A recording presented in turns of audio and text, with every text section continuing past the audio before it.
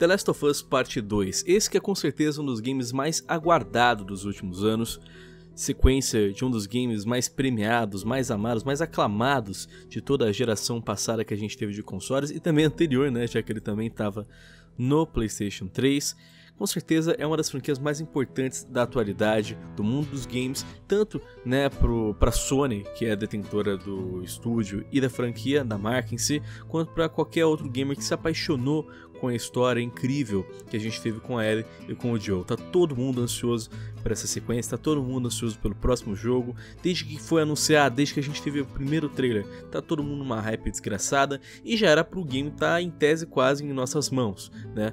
A sua data de lançamento oficial já era para agora no começo do ano, mas como a gente sabe, The Last of Us 2 foi adiado recentemente e olha, as notícias mais recentes que a gente tem para trazer para vocês não são nem um pouco positivas ou esperançosas, porque galera, quem fala com vocês é o Lionel Central e agora eu acho vamos explicar para vocês a situação que o The Last of Us 2 foi removido da PlayStation Store após esse adiamento, né, depois dele, dele ter sido é, adiado pela própria Sony.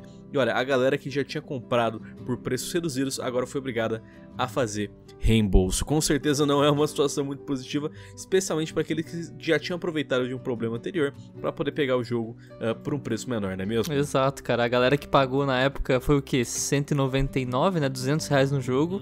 E aí a Sony teve um aumento, deu aquela desculpinha falando, não, vamos botar 250, porque a gente botou o preço errado, e a galera conseguiu aproveitar, agora acabou se ferrando todo mundo, né? Porque provavelmente o jogo vai voltar pra loja depois e a galera vai ter que pagar o preço full, né, Lion?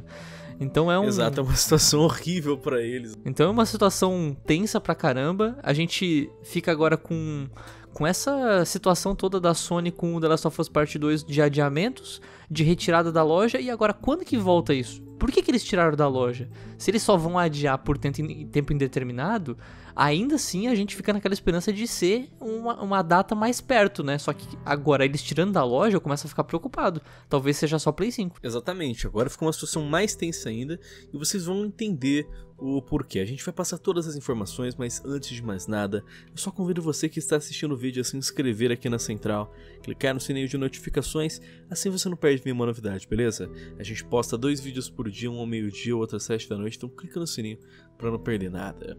E galera, foi recentemente, alguns dias atrás, a gente trouxe para vocês a notícia que o The Last of Us 2 uh, ah, foi adiado indefinidamente devido né, a esse surto de C-Vírus que a gente está tendo aí pelo mundo afora.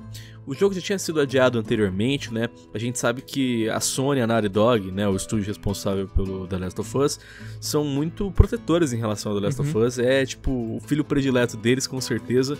É com certeza o game mais esperado, provavelmente, da atualidade no PlayStation 5 e no PlayStation 4 também. E tá todo mundo ansioso por ele, tá todo mundo ansioso por qualquer novidade.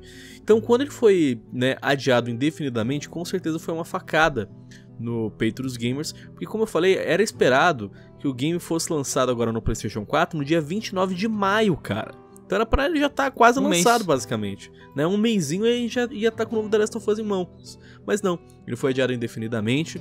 De acordo com um post oficial da Sony, a decisão é mantida devido a, abre aspas, logisticamente, uma crise global está nos impedindo de fornecer a experiência que os nossos jogadores merecem.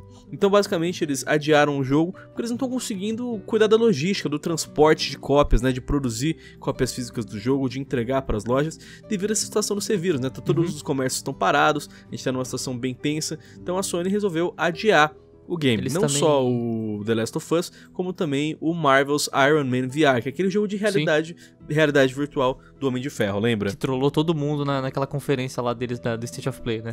E eles também adiaram por causa de bugs, né? Falaram que eles têm que corrigir algumas coisas, então acabou que Vamos falar real, a gente sempre diz isso, mas adiamentos para o jogo ficar melhor, tal, é sempre ok. A gente nunca vai reclamar disso. Se é pro jogo vir 100%, eu prefiro esperar mais um pouco, né?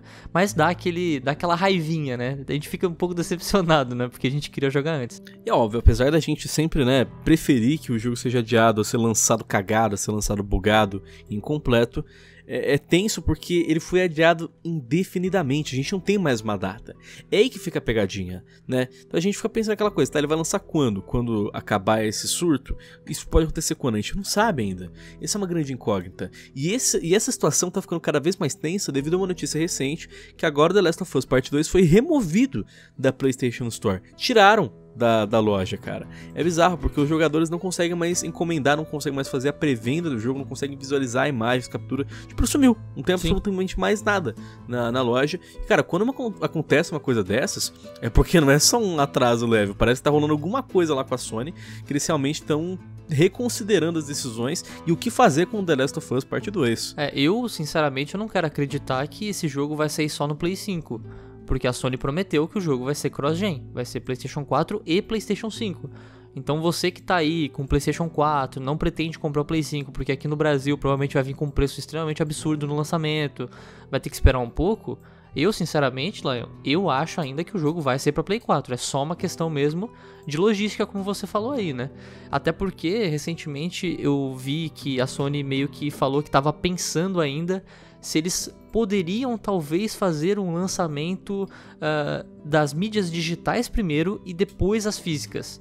Só que eles estão meio que descartando isso no momento porque tem lugares do mundo, de acordo com eles, que a galera não consegue ainda jogar digitalmente, que precisa das mídias físicas. O que eu não consigo entender por quê. Mas beleza, essa é a, é a desculpa deles.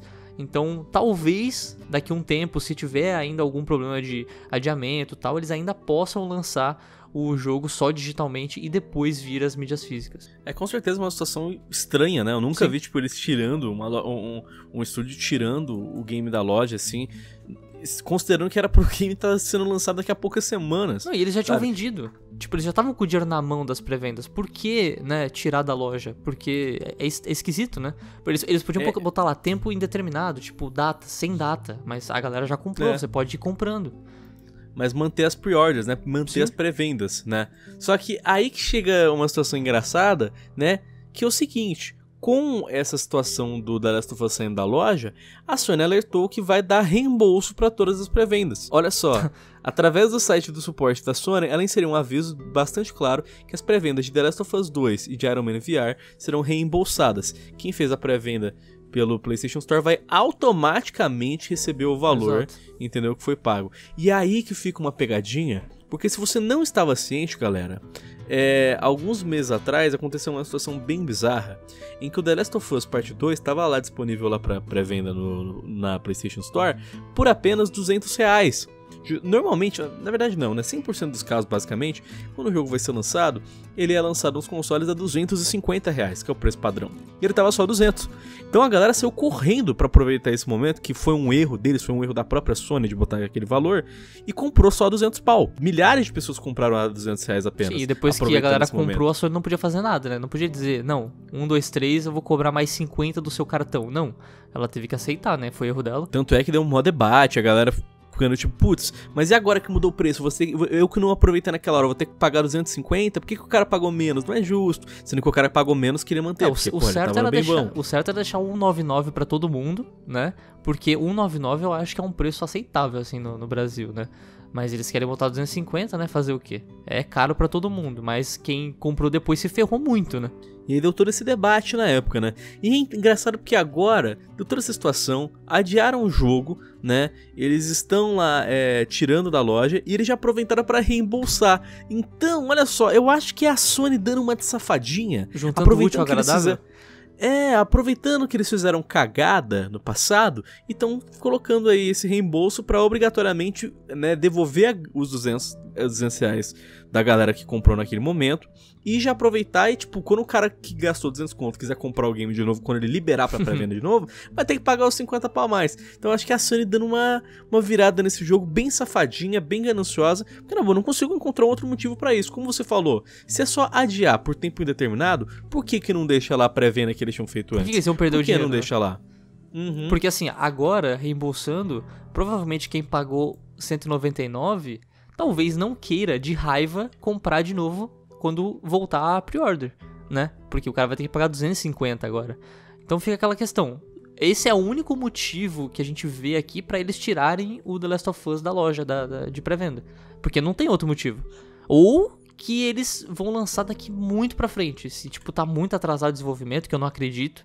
Acredito que já tá quase pronto o jogo, eles falaram que era só uns bugzinhos. Então acredito que seja isso aí que tu falou mesmo, Lion. É, é quase certeza. Cara, é bizarro, né? Eu, eu, eu fico realmente pensando, é a jogada, acho que né? a safadeza da Sony é uma jogada. E no final a gente que se ferra, né? Porque Sim. tá no momento em que, putz, o jogo foi adiado, não tá mais na loja, quem pagou por um preço menor agora não vai mais ter. Cara, situação de merda. Situação de merda. Muito. Pelo menos o que aconteceu recentemente de positivo é o seguinte: acabou uh, de vazar uma nova gameplay do The Last of Us Part 2, inclusive que a gente não pode mostrar nesse vídeo aqui, Sim. porque a Sony tá derrubando, né? Se a Sony ver essa porra aqui, ela vai dar strike na gente. A gente não pode mostrar para vocês aqui neste vídeo, mas o link vai estar na descrição, então lá você pode ver a matéria e na matéria está incluso o, o link a do captura, vídeo. né? O link do vídeo. Então se você quiser dar uma assistida lá, é um clipe bem curtinho, não é nada demais, né? não é nada tipo surpreendente, assim, de explodir a sua mente, mas é interessante a gente ver umas cenas a mais do Last of Us. No caso, a gente vê a, a Ellie acordando, ela parece estar num, num teatro, numa casa de show, né, abandonada, e ela tá procurando pelos seus amigos. E é engraçado que, tipo, a gente vê que ela pega um violão. E, cara, dá para tocar violão perfeitamente no The Last of Us. Tipo, é nota por nota. Você vai lá, utiliza o, o, o touchpad do, do controle do PlayStation 4 para poder é, tocar o violão e você seleciona as notas que você quer Podia, fazer. Então, cara, ficou mó legal, cara. Na edição de colecionador, vender uma guitarrinha do Guitar Hero junto. Aí você tocava na, na, guitarrinha na hora, tá ligado? Pra ficar mais realista possível, Exato. né? é, é, é, o que eu falei, é, é, bem curtinha a gameplay, não mostra nada demais, mas eu fiquei surpreso por esse detalhezinho do violão, sabe? Tipo, os caras metendo, tipo, um, um sistema inteiro de você tocar Sim. violão ali e, claro, a gente não vai conseguir fazer nada demais, porque a gente não tem essa capacidade mental de fazer isso. Mas pode ter certeza que quando lançar algum asiático, vai utilizar esse sistema para tocar, sei lá, um, um Shop Sway, tá ligado? Com essa porra no violão. Ah, vai, tocar, vai tocar muito metal ali, velho, rock. Os caras vão conseguir fazer uns bagulho louco ali. Com certeza. Olha, só sei que é interessante, não é nada demais a gameplay, mas é, é, é foda ver o trabalho que a Naughty Dog tá fazendo até nos mínimos detalhes, né? Tipo, não é só um violão, não é só um, uma coisa que tá no cenário. Os caras fizeram, tipo, todo o sistema do violão para tocar nota por nota. Uhum. Então é legal. Acho que vale a pena se você é fã de The Last of Us dar uma olhada para ver tanto é como tá a, a Ellie agora, como tá o, o jogo em si, né? Olha, de qualquer maneira, galera, a gente passou para vocês uma bomba, né, de informações, um monte de conteúdo de The Last of Us 2. E agora que a gente já tá com tudo isso em mente, eu pergunto para vocês: que, que vocês acham que está acontecendo com The Last of Us Part 2? Qual é a desse adiamento? É realmente por causa desse vírus? Por que, que eles tiraram o game da loja? Será que foi por causa daquele, daquele erro que eles fizeram do, do jogo a 200 reais? E esse vazamento de gameplay? Como que essa gameplay acabou chegando na internet? Cara, são muitas informações, são muitas notícias bizarras e com certeza tá levantando né, diversas orelhas. O que, que está acontecendo com The Last of Us Part 2? Será que a gente tem que se preocupar? Deixe sua opinião nos comentários e bora debater sobre esse lançamento tão aguardado, beleza? Não se esqueçam também de se inscrever e clicar no sininho de notificações, assim você não perde nenhuma novidade aqui da Central, beleza? Enfim, quem falou com vocês foi o Lion e o White, muito obrigado pela sua atenção, espero que vocês tenham um ótimo dia, uma boa sorte nos campos de batalha e até mais, valeu!